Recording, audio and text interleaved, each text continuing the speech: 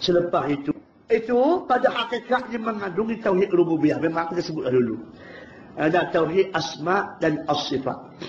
Sebaliknya tauhid rububiyah tidak mengandungi tauhid uluhiyah.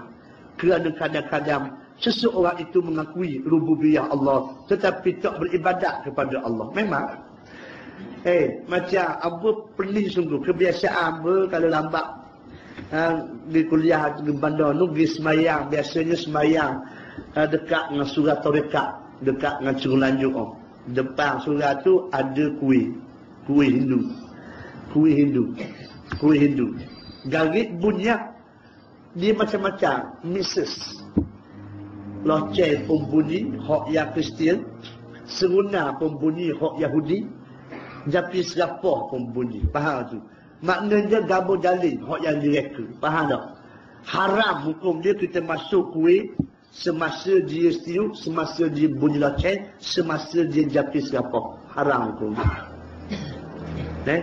Masuk tempat ibadat orang bukan Islam, hukum dia harus.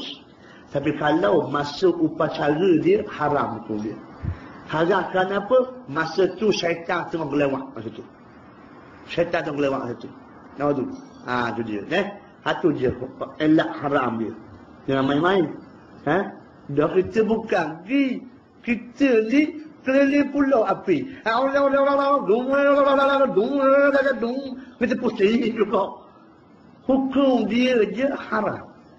Ada setengah ulama kata boleh jatuh murtad. Oh jangan main.